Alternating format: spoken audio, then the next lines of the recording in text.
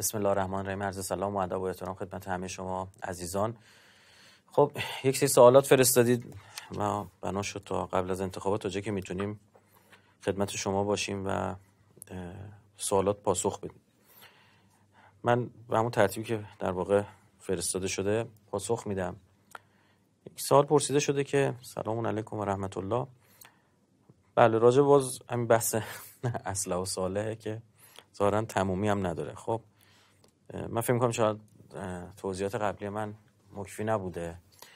خب دوباره همین که بالاخره در جبهه انقلاب های رئیسی یا های جلیلی ادهی نفاق و دعوا درست نکنن و اینطور. ببینید یه بحث بر سر اینه که من یه انتقاد کردم توییت نسبتا تندی هم زدم. گفتم هیچ نیازی به اپوزیسیون نیست. یک مشت بوغ مشغول کارن حالا. خب اینم برای چی میگم بابا شمایی که ظرفیت و جنبه در واقع کار سیاسی ندارید بی خود می‌کنید کار سیاسی می‌کنید. بی خود می‌کنید کنشگری سیاسی می‌کنید. برید بشین صداتون در نیاد. بابا یک موقعی هست ببین خیلی واضحه بدیهیه. من دفعه قبلم عرض کردم. شما یه سری فاکتورها و معیارها دارید. نشستید یه کاندیدایی رو رصد کردید. گذشتهشو حالشو. برنامه‌هاش برای آیندهشو. بعد جاهایی که سر در نمی آوردید رفتید از متخصصینی پرسیدید از افرادی که بهشون اعتماد دارید و اونا رو صالح می‌دونید. آدم درست می‌دونید. پرسیدید. در مجموع رسیدید مثلا آقای ایکس اسلحه الان توی این هفت نفر از بقیه بهترینه. The best. خب. و اسلحه. درست شد؟ خب حالا می‌دونم اینجا باز چون واقعا این چند روزی رفتارهایی دیدم احساس می‌کنم با یه مش جماعت بیمار طرفم. برای من احساس می‌کنم باید کلمات دونه دونه توضیح بدم. اینجا بله. نه باز نگید آقا اینجا بهترین با اسلح فرق داره با صالح ترین این بهترین پرگماتیستی نباشه عملگرایی نباشه. همون اسلحه که تو میگی. باشه؟ خب. اگر رسیدی این فرد اسلحه حتما بهش رای شکی نیستش. منتها به کسی که به یک فرد دیگه رسیده بر مبنای معیارهای او. بر معیارهای او کارنامه مثلا از برنامه مهمتره. برای یکی دیگه برنامه از کارنامه مهمتره. درست شد؟ وزنها فرق می‌کنه. چون آدما برای هر چیزی به شما کارنامه‌ای که می‌دادن مثلا اگه رشته ریاضی فیزیک بودید ریاضی ضریبش 4 بود مثلا یه درس دیگه مثلا چون ادبیات مثلا دو بود. اگه رشته ادبیات بود مثلا برعکس. ضریب اینا وزن اینا فرق می‌کنه. برای یه کسی این مهمتره. از نگاه این آدم اینه. درست شد؟ حق نداری توهین کنی. حق نداری تهمت بزنی. حق نداری دروغ بگی. حق نداری از دایره انقلاب خارجش بکنی. نه شما الان دیگه همکاری تو از دایره انقلاب خارج بی خود کردی یه دایره درست کردی شده شعاعش دیگه یه سانت. کسی نمونه توش دیگه. حق نداری خودکامه باشی دیکتاتور باشی.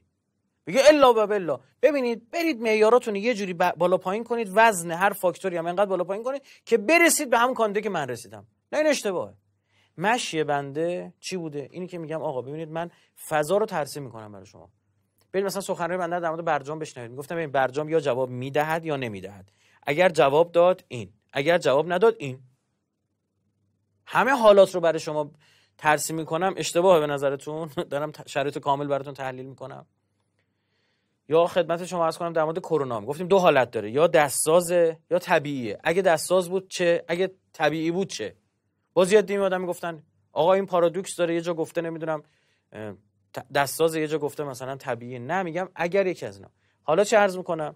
میگم جبهه لیبرال و غربگرا برای انتخابات معمولا این برنامه ها رو دارد. خب؟ الان شما میفرمایید این بار این برنامه نمی‌گیرد. بسم الله شما خودتون می‌دونید آگاهی عالمی عاقلی. خدا پدرتو بیامرزه. خب؟ یکی دیگه میگه نه من تا روز آخر مطمئن نشم.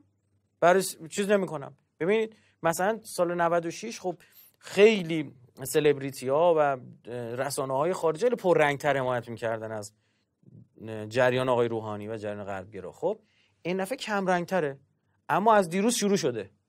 حالا ضریب بدیم چقدر؟ ده درصد اونه 90 درصد اونه این اونه بیشتر از اون خواهد رفت. چیکار خواهند کرد؟ آقا این که شما بدونید طرف مقابل چه طرحی داره چه ایده ای داره این که خوبه که. شما دوست ندارید اینا رو بدونید؟ باشه ندونید یا مثلا میگی که آقا ببینید راستی این رو هم گوشه ذهنتون داشته باشید که تو دل همین انتخابات اینا یه سری بحث ها در مورد رهبری آینده مطرحه. ها خب؟ من حرف زدن راجع به برای خودم دوست داشتنی نیست هم مجبورم بگم. خب این که بهتون میگه اینو بدونید بدتون میاد بدونید خب ندونید. همون بوقه که عرض کردم باشید. خب؟ یه کمی فهم داشته باشی آقا شما رسیدی آقای رئیسی اسلحه حتما برو بهش رای بده.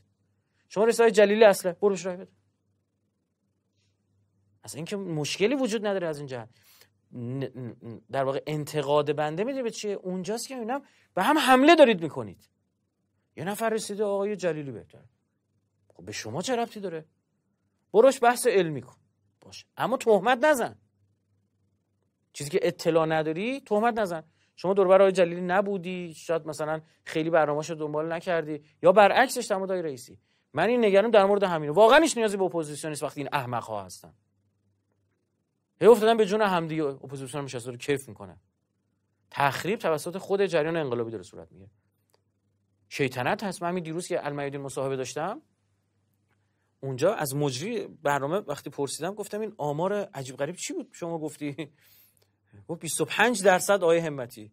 گفتم 20 گفت 20 چند درصد 5 درصد گفت 7 درصد گفت چقدر؟ گفتم این آمار اصلا فارسی اصلا بلد نبود. یعنی مترجم بر مترجم می‌کرد. گفتم 20 چند درصد از کجا آوردی؟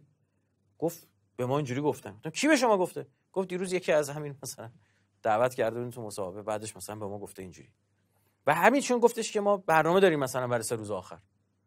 با یه مجری لبنانی که اومده مسافرت ایران یعنی اومده یه ویزای کاری گرفته برای المیدین داره خبر ریپورت می‌کنه. خب؟ داشت اینجوری می‌گفت. خب ببینید این بازی ها این قصه هست. حالا شما میگید نه این دفعه مثلا 96 نمی‌گیره. پاش هرچی دوست داره بده. حالا تو خوبه یعنی من نمی‌دونم چیه. اما در این که ما به بهترین باید رای بدیم در شکی نیست. که این بهترین فاکتورها مختلفه. برای من نوعی برای من نوعی این مهمه که این آدم در عین این که یعنی تو عرض کردم گفتم آقا این کسی رو کسی رو من برای بن, بن نوعی ها. نظر منه. شما قبول نداری نداشته باش. محترمی شما برای من. اما اینکه برای من مثلا شاید فاکتور شما 5 تا فاکتور من 7 تا فاکتور من 9 تا فاکتور من 10 تا مطالب شاید نکات بیشتری لحاظ کنم. یا کمتر از شماست. اما حق حمله به هم دیگه یا یه جا میگه آقا چوبو برداری گربه دزده فرار می‌کنه. شما داری یه حرفی می‌زنی کلی یا یه عده بهشون برخورده؟ اه. شما چرا بهتون برخورده؟ شما چرا خودتون رو مصداق اون مسئله می‌دونید؟ خب اینکه نباید بهتون بر بخوره. این احساس می‌کردم حتما به توضیح بدم. اما این زشت خدا وکیلی که اصلا نشون میده که بعضی از این بچه ها اصلا شعور کار سیاسی ندارن. ظرفیت کار سیاسی ندارن. کار سیاسی ظرفیت می‌خواد سعی صدر می‌خواد. هر کسی می‌خواد با جامعه کار کنه کار سعی صدر می‌خواد. با پیغمبر خدا حضرت موسی وقتی می‌خواد بیاد برای هدایت قوم بنی اسرائیل خدا چی رب اشرح لی صدری. به پیامبر ما خدا چی میفرماد؟ علم نشرح لک صدرک؟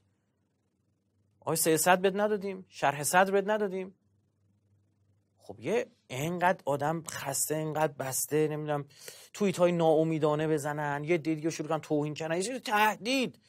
نذارید اون کاری که وگرنه اونو میگم ها. ببین شما خیلی به این گیر بدید وگرنه من میرم به اون گیر میدم. بعد جالبه اینجا کاندیداهای این افراد دارن تخریب میشن. می‌بینی چیکار مردم چه قضا میگه اگه تو دور بریات هم اینجوریان خب خود خیلی اوضاع خرابه. این خیلی بده. نباید این کار کرد.